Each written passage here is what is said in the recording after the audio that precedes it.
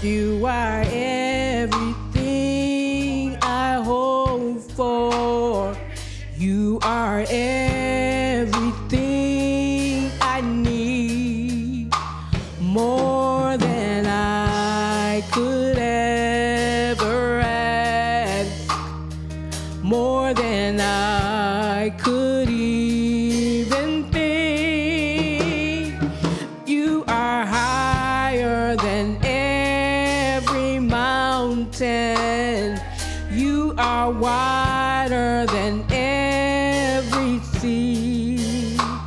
Just your voice was all creation, yet you love.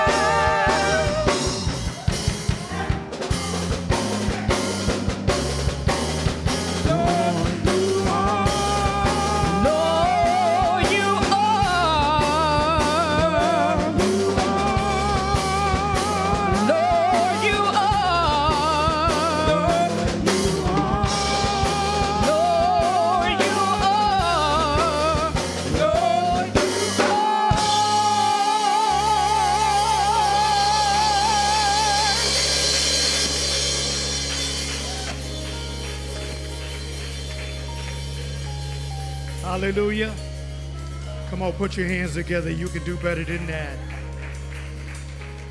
He's our great provider. You are everything that we need. You are everything that we need. And since you are everything we need, we trust in you to provide everything that we need. Amen. Praise God. Praise God. Praise God. Welcome to Dove Church.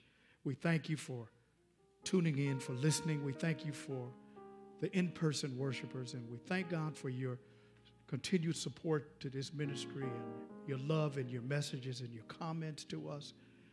Keep praying for us and believing for us, and we thank God that He will in turn, well, we believe, God, that He will in turn give it to you. Press down, shaking together, good measure, and it will run forth. And we just trust God over that word to you today. Amen. Well, as usual, what Pastor is going to do for the next few weeks is ask you to, to work out of your paper Bible, not the iPhone, not the pad, but your paper Bible if you can. You know, bring it, because sometimes we get out of practice using this word right here. Amen. And so, so make sure that you you you you have a paper Bible. Uh, the two scripture areas will probably be Acts the 16th chapter and then 1 Corinthians the 16th chapter. And so if you mark yourself for those, then uh, you can stay right in one and then follow me along in the message. Amen. And so the, the words aren't going to come overhead. So sometimes we get a little, little comfortable uh, just looking up.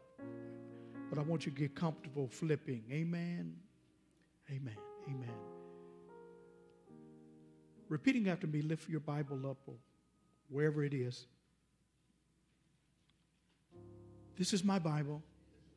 I am who it says I am. This book calls me an overcomer, and that's who I am. Today I shall be taught the infallible, unchanging Word of God.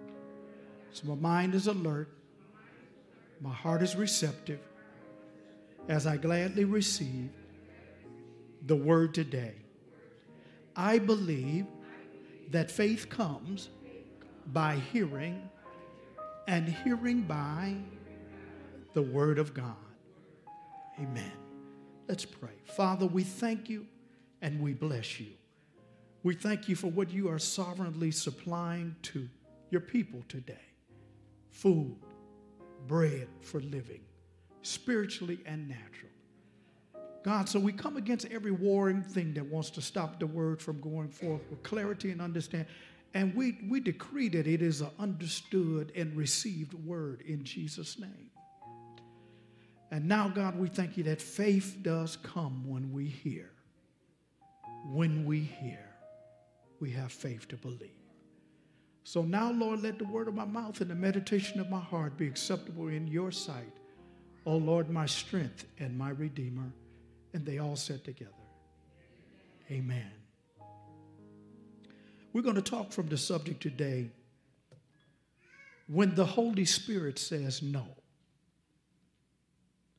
When the Holy Spirit says no. And again, when the Holy Spirit says no. No is a nasty two letter word. We don't like to hear it, especially when we want to hear a yes. So to hear no bothers us. As a parent, one of the most aggravating things that a toddler can do when they finally learn to say a few words, they learn that word first. They don't learn yes. They say no, no, no, no, no. And keep doing what they want to do. And so I came to tell you all no's aren't bad. Sometime a no will save your life. Sometimes a no will save your finances. Sometimes a no will save your family. And so the Holy Spirit says no. From time to time, it says no. Not always, but it says no. Let's go to Acts 16, 6 through 8. And we're going to talk about Paul on one of his missionary journeys getting ready to, I believe this is the first one, getting ready to go to different provinces and parts of the world to preach the gospel as a sent apostle of the Lord Jesus Christ. And Acts 16, 6 to 8, when you have it, say amen. I'm going to wait on you. I'm not going to run off because I know they're not coming overhead. But Acts 16, 6 through 8. When you have it, say amen. All right. Now, when they had gone through Phrygia and the region of Galatia, they were forbidden. Everybody say forbidden. forbidden. By the Holy Spirit. Forbidden by who? To preach the word in Asia. That's a powerful statement. Somebody that was sent to preach was told not to preach After they had come to Mysia, they tried to go into Bithynia, but the Spirit did not permit them. So, passing by Mysia, they came down to Troas. So, they couldn't go to Asia Minor and they couldn't go to Bithynia, but they landed in Troas. Everybody say Troas.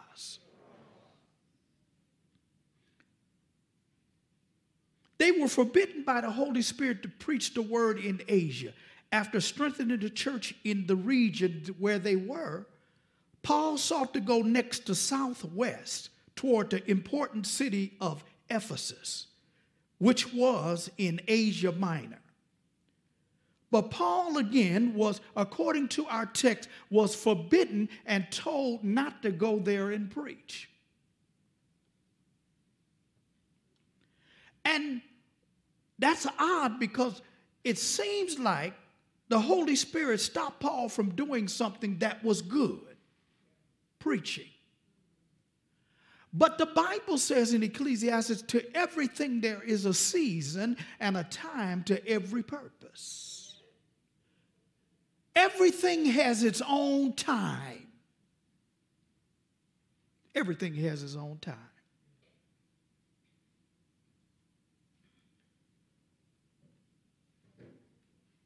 Yet the Spirit of God was directing his work over and over again. The Holy Spirit knows what God wants to do. The Holy Spirit knows that. And so sometimes when you're prevented from doing stuff, the first thing that raises up is your flesh that wants to do it. And, and, and that's when the battle starts. I'm warring. You're warring with what you were told not to do because you said it's okay for me to do it. So if Paul had a sat down and did a running list, I had an encounter with you on the Damascus Road. You sent me to preach. You changed my whole pro, uh, uh, uh, job description from, from hunter and persecutor of Christian to, to preaching about that same Jesus that I was persecuting people for. And now that I'm doing it, you tell me don't do it. The reason is God knows what He wants and He knows when He wants it. Even though it's your call, it's His mission. It's His mission.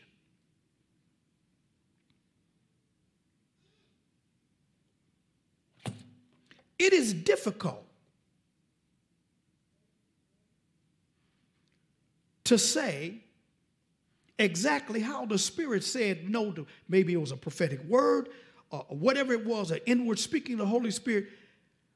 One way or another, Paul and his company got the message.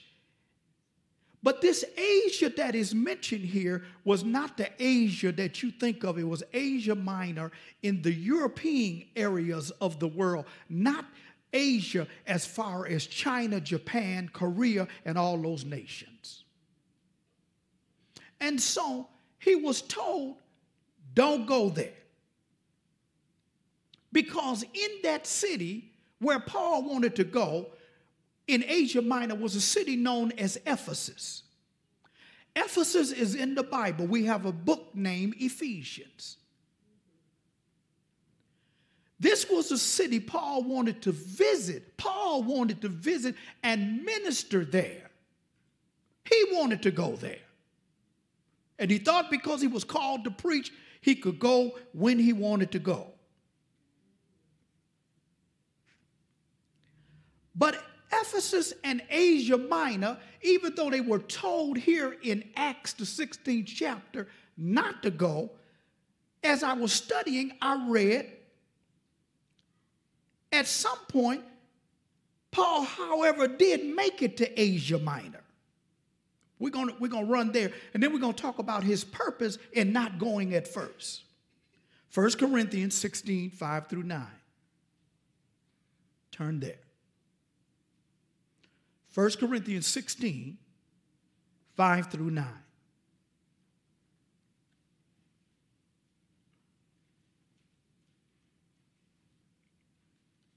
How do we know that? We have the witness of his visit in Scripture. How do we know he made it to Ephesus? How do we know he made it to Asia Minor? We have the witness in Scripture. Now I will come to you when I pass through Macedonia, for I am passing through Macedonia, and it may be that I will remain or even spend the winter with you. Are you all there? That you may send me on my journey wherever I go. See, when Paul went to preach places, they gave an offering to him so he could continue to preach. I like that. For I do not wish to see you now on the way, but I hope to stay a while with you, if the Lord permits. See, already Paul is getting the message God may not permit it and I can't do it. I'm saying that, but if He permits me to do it and not prevents me, that's how you need to operate. If the Lord will, we will do this or that. Because the Lord don't always permit you to do everything. You ought to get happy about that. He's really trying to save your life in the process. Amen. He don't, he don't permit you to get mad and, and, and knock your boss's block off. That might help you in the moment, but in the long haul, it won't be good. Oh, okay, all right. Reading some more. that you may send me on my journey wherever I go. For I do not wish to see you now on the way, but I hope to stay a while with you if the Lord permits. But I will tarry in, what's the next name? In Ephesus. Did he make it to Ephesus? I will tarry in Ephesus until till Pentecost. Wow. For a great and effective door has opened to me, and there are many adversaries. He's saying, even for my next assignment, the Holy Spirit said no to this one at first. Now I'm here, but a door over in Macedonia is opening up to me, but there are many people that don't want me to go. It didn't say the Holy Spirit, it said there are many adversaries. So the adversaries don't stop you from going, but the Holy Spirit does. Even with adversaries, your call is still potent. With enemies, you still are called to do the job. If people don't like you, you still are called to do the job. It's not a personality conflict contest. It's not congeniality. They may not like you, but, but if God sends you to do something, He makes a way for you to do it. Ooh. And so much of what we do in the kingdom of God is built around personality. I think I like him. I think I like her, so I can listen to them. What if you if they aren't likable, but the word that they speak is truth and deliverance? Some of the people in the body of Christ that got on my nerve the worst were the most powerful. And I didn't think they were altogether friendly. But God didn't send them to be my friend. He sent them to get a word to me. We ought to know the difference. Amen. Let's return to Acts 16 and 7. Hope you still got your Bibles turned there.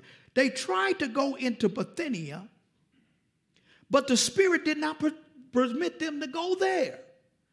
After the attempt to go to Asia, Paul sought to go north to Bithynia, but was prevented again. So they came down to Troas. Everybody say they came to Troas. In Troas is where the will of God for Paul in this instant became clear. Sometimes God's no is directional, meaning that his no is leading you somewhere else. No, don't go there. No, don't go there. Troas, nothing. Well, that's where you're supposed to be. Now, there is nothing else really overly significant about Troas except some of the events that happened there that brought note because transition and the, the, the, directional no's landed them in Troas because something else had to open up. At a place you didn't desire to go at a place you didn't want to go first or second. Troas was third. So today I want to ask you, what is your Troas? Did you get there because there was somebody you, some place you wanted to go first? And then you couldn't go there, you couldn't go to the next place second. So, what is your Troas? It might be right where you are. This is your Troas. This is where God has positioned you to leverage you and to springboard you into something else. It may not be the greatest choice or the glorious choice, but it's the right choice and it's in the plan of God for you. Are you there? Does that make sense? You, my dear friends, are in your Troas. You're in your transitional place. The devil's yes comes to take you out of God's plan for your life. But God's no lands you in the center of his will. The devil gonna keep saying yes. Everything you want to do, yes. Ooh, yes. Make it exciting. Make it lustful. Make it nasty. yes.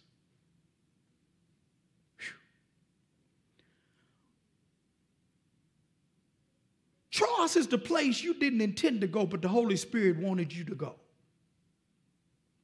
Paul didn't set out to go to Troas again, it was his third choice, but it was the Holy Spirit's plan to lead him there. Paul was responsive to the Holy Spirit. It didn't say he thought about it, he didn't say that he contemplated, it It didn't say he argued with God about it. He didn't say, But why do I need to go? He didn't put his hand on his hip and he didn't shake his finger in God's face. Why, why do I need to go there? I've been called to preach, I've been anointed to preach, I met Jesus already. So, so why are you telling me what to do next? I, need, I know what I need. I'm led, I'm filled with the Holy Spirit. I, I, I, I, I, I, I, I, I, I, shut up and go. He knew what your pedigree was before you had it. He don't care. Because it's his program. And you ought to get glad when it's his program. Because his program is fruitful. You ought to remember that. God's program for your life is fruitful. He's not taking you from one desert experience until the next. That's of the enemy. God's plan for you is fruitful. Even if you get to a place that ain't producing because you are in the will of God, something in that desert place will have to sustain you until you get to your next. Are you there? How many of you ever get got in a tight, slim place, but you made it through? Because God knew where you were at and He wasn't going to leave you starving in the desert. Hmm.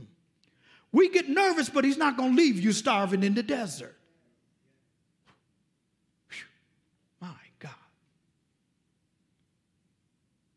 Here is the challenge and the tough part laying aside your will and accepting the will of God.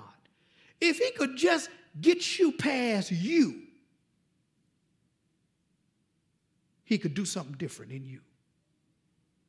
Get us past us and what we want to do. Let me say it this way Paul was guided by hindrance. What? He was guided by hindrance. No hindrance. No hindrance. Okay, this is where I'm supposed to be. He was guided by hindrance. And the Holy Spirit wants to guide you by what it stops you from doing. It's guiding you through hindrance, not allowing you to take yourself out.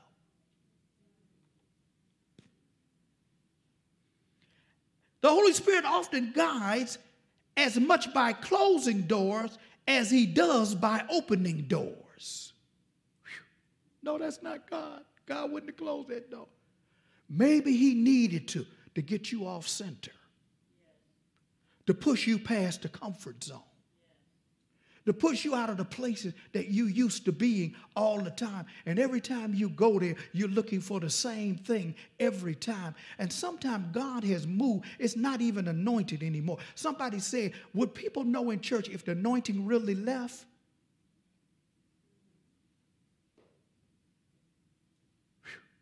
Wow. Acts 16, 9 through 10. Same chapter. These are basically the only three scriptures. Acts 16, 9 through 10. When you have it, say amen. And a vision appeared to Paul in the night. A man of Macedonia stood and pleaded with him, saying, Come over to Macedonia and help. It's considered in Scripture as the Macedonian call. Come over in Macedonia and help us. It really, they said it might have been an angel, but it was the Holy Spirit evidencing the will of God. Paul couldn't even rest at night because God would, would, would send somebody to talk to him during his night season. Come over in Macedonia and help us. What did they need? They needed the help that only Paul could bring the gospel, the good news. Come on. That's what he had. He was full of the Holy Spirit. So when he came, he brought his Jesus. He brought the power of the Holy Spirit with him. He brought miracle working power with him. They said, Come on over to Macedonia and help us. But you can't help every place. Ooh. Some of you need to climb down off the cross. You're not Jesus. You're trying to help everybody do everything, and you can't help everybody. And after a while, they let you know you really didn't help me. Oh, come on, y'all, but you might well wake up and get with this. How many people have you helped over and over again until you got mad and stopped and said to yourself, Who's the fool here? Because if you keep helping people, they become dependent and they won't help themselves. It's going on in Afghanistan. We fought a war for 20 oh, I should. And we thought we were training somebody. And as soon as the Americans left, the, the, the, the, the, the, the, the, the other gang ran on in and they were just like they were defenseless. Well, what did we teach you to shoot for? You know what happened? They got dependent. They always gonna be here. Every time we get in trouble, uh, uh, uh, help! And here we come running. And people might not like it, and we may think it's, oh, it's just so awful. It's so awful. It's been 20 years. It has affected your pocket to the tune of $2 trillion. Y'all don't even know what $2 trillion could possibly look like. All right, I'm out of Washington now.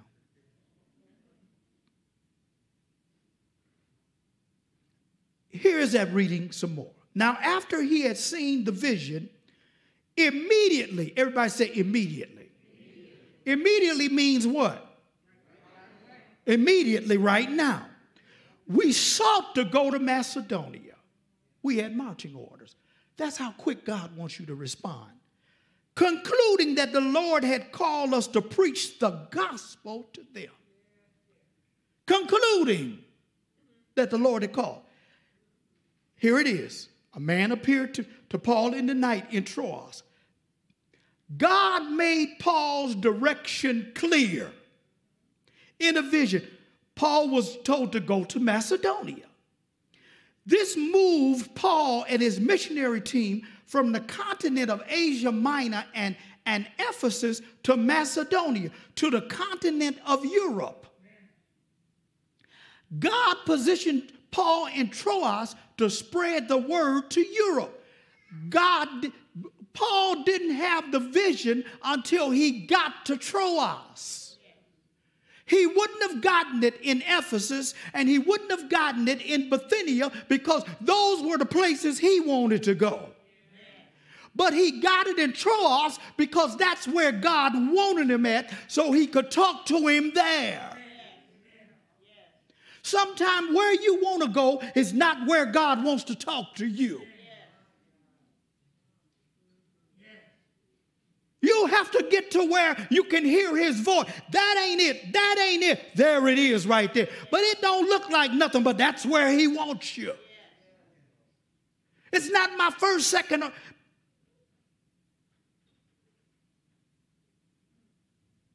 It's the third choice.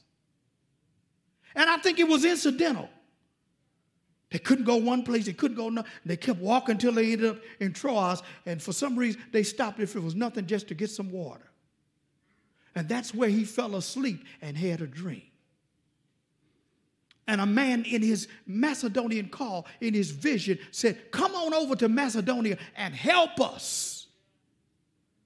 You won't get the call till you're in the right position. And you keep wondering, What's wrong? What's wrong? Where are you? Where you at? How did you get there? Well, I decided it, it looked like I weighed the odds, Pastor, and this looked like a good move. Well, you missed it by the, the letter O. You, a good move ain't necessarily a God move. Oh. How many of you know I'm really right? About? Just slip your hand up just slightly. Don't, it don't have to go way up high.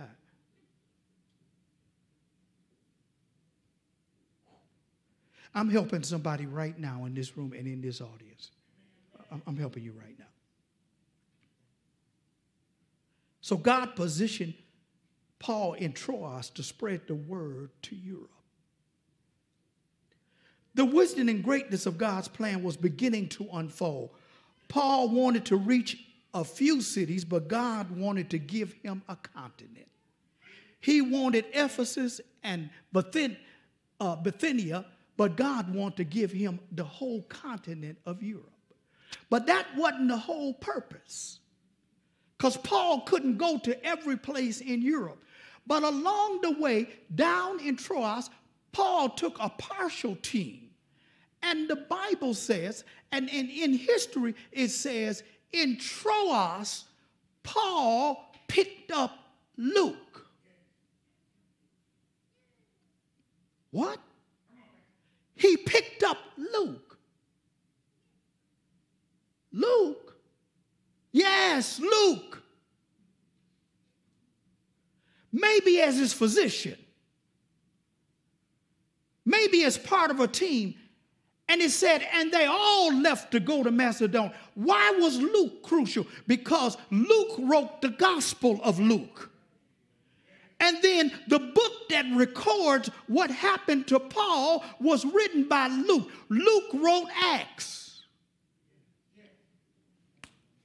It happened at Troas, not at Ephesus, not at Bithynia but at Troas, he hooked up with Luke, and Luke whipped out his pen with, with, with, with a doctor's diagnostic eye and started writing. everything that he saw, everything that he heard, and because of him, we, he, he gave rise to everything that Paul did so Paul could write the better part of the New Testament. You need your Troas. Because sometimes you're settling for a city when God wants to give you a continent. Ooh, you want to go this place, but you'll only be fruitful in that place for a minute. But God said, I want to bless generations. And we're sitting here today reading about it is because Paul went to Troas and picked up Luke. And Luke gave us. And Luke gave us the book of Luke, which recorded the gospel of Jesus Christ. And Acts is really an extension of Luke. It really is the fifth gospel and it became the Acts of the Apostles. What Luke said was activated in Acts. We don't know anything about the Holy Spirit until Luke wrote about it. When the day of Pentecost was fully come, right, Luke? They were on one accord in one place, right, Luke? They were all filled with the Spirit and began to speak in tongues as the Spirit gave utterance. Write it, Luke.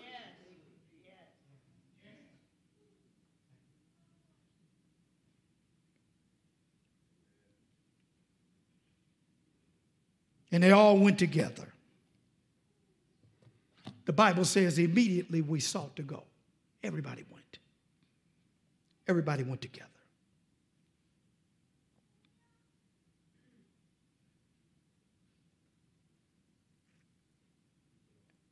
In summary, God wanted to give Paul a continent, to give him a personal doctor, and to give us a man whom God would use to write the New Testament.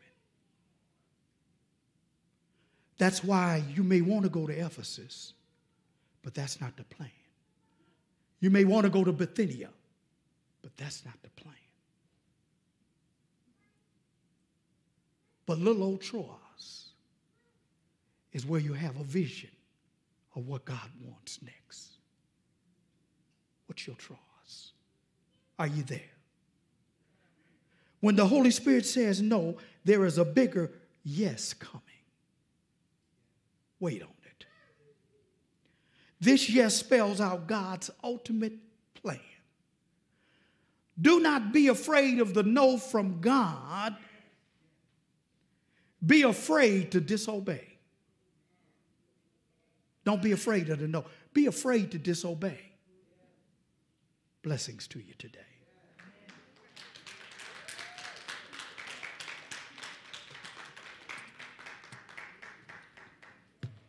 Father, we thank you and we bless you and we give you the glory. And we thank you for a simple message that shows how you operate, what your will is and what your way is. Help us to listen and to respond to your will for our lives.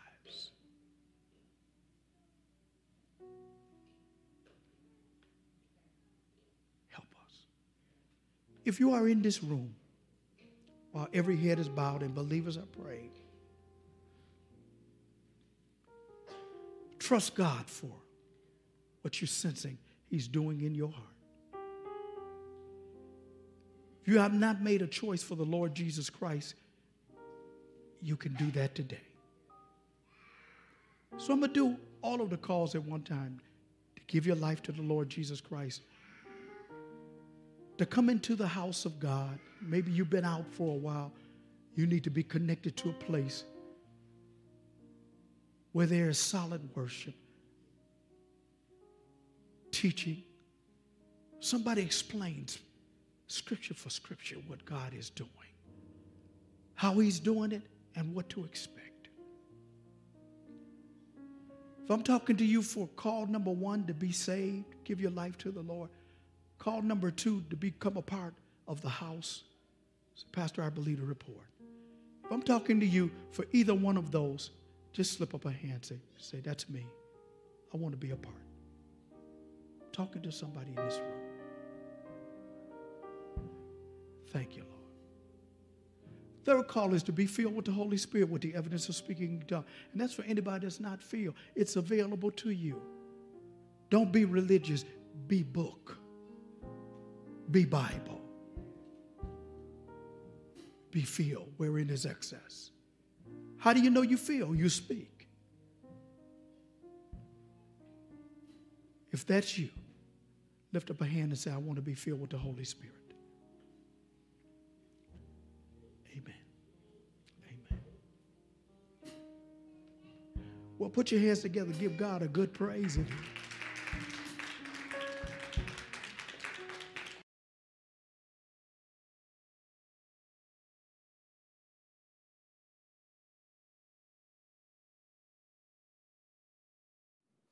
Praise the Lord. To all of our viewers, we thank God for you and we encourage your financial support of this ministry. We are here to bless you and know that the Lord will bless your giving. You can use PayPal by going to our website, dovechurch.org forward slash giving, which will take you to our PayPal page. We appreciate your sharing this time with us today. God bless you.